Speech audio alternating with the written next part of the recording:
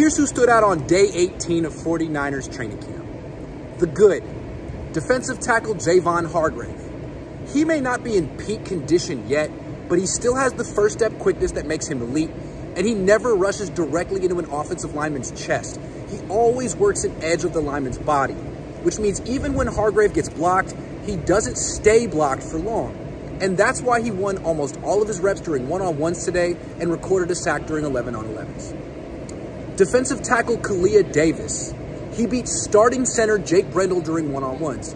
Like Hargrave, Davis keeps his pads low and always attacks an edge rather than the center of a blocker's body. He might be the 49ers' best backup defensive tackle. Defensive tackle Javon Hargrave.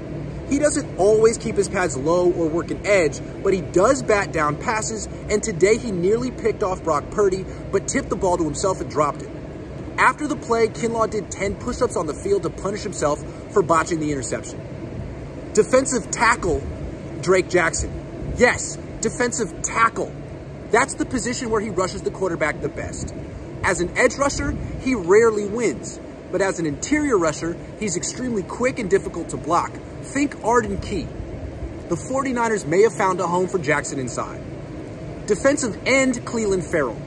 He clearly is the second best defensive end on the roster after Nick Bosa, which is not a good thing because Ferrell isn't as good as Samson Ebukam, last year's starter, or Charles Omenihu, last year's backup. Defensive tackle D'Shawn Jamison. He broke up a deep pass from Sam Darnold that was intended for Deebo Samuel. Jamison probably is the 49ers' best backup cornerback. He should make the team even though he's an undrafted rookie free agent. Cornerback Tre Swilling he intercepted a long pass from Darnold that was intended for Ronnie Bell near the left sideline. Bell ran a comeback route, Swilling jumped it, and made a diving interception. Tight end Cameron Latu. He actually caught a pass for a change, which is impressive for him. But then he dropped a pass a few minutes later. Baby steps. Right tackle Leroy Watson. He got punched in the face mask by LaDainian Hamilton and didn't punch him back. He simply laughed at him. And the laugh was maniacal. He sounded like a villain in a superhero movie. It was the coolest response to getting punched I've ever seen. Hamilton must feel so impotent. The not so good. Head coach Kyle Shanahan.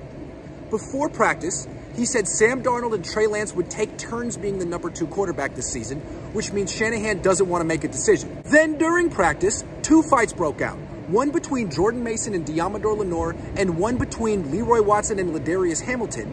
And Shanahan just stood and watched. He kicked no one out of practice. Didn't even raise his voice. When it comes to anything other than calling plays, Shanahan simply isn't interested. Left tackle Jaylon Moore. The 49ers backup offensive tackle couldn't block Clelin Ferrell during one-on-one -on -one pass rush drills. Moore is a guard, but on the 49ers, he plays tackle out of necessity guard slash center Jon Feliciano. He got beaten during one-on-ones by LaDainian Hamilton, who probably won't make the team. Which means Feliciano shouldn't make the team either, but he will because he's their best backup interior offensive lineman. If he ever has to play, the 49ers are in trouble. Left guard Aaron Banks.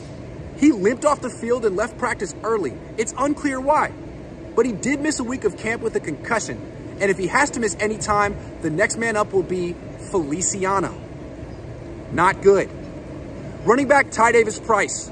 He dropped a screen pass that hit him in both hands, which means he can't catch or block. And he's averaging only 3.9 yards per carry in the preseason, so it's unclear what exactly he does well. Nick Bosa. It's August 22nd, 2023, and Bosa still hasn't signed his extension with the 49ers.